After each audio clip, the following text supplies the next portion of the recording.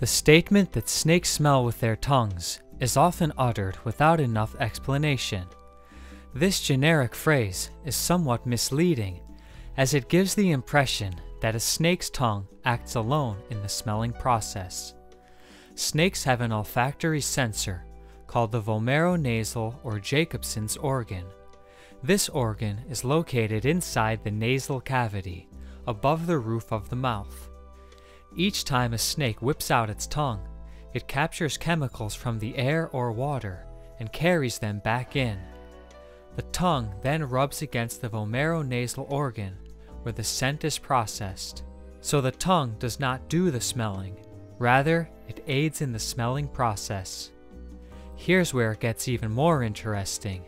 On the roof of the mouth are two holes, where each tip of a snake's forked tongue touches the vomeronasal organ.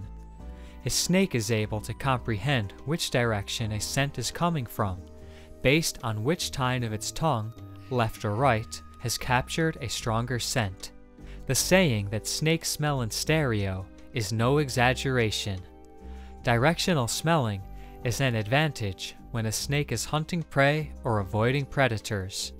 A key function of the vomeronasal organ is detecting pheromones, helpful when searching for a mate.